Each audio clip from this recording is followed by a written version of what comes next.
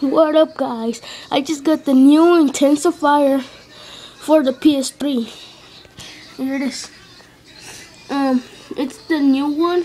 It's not that one. I don't know if y'all can see it, but let me. Yeah, it's not that one. I'm gonna install this one on my blue PS3 controller, brand new. And let me show you how it looks. The box. There you go. Open it. Dun, dun, dun. there you go.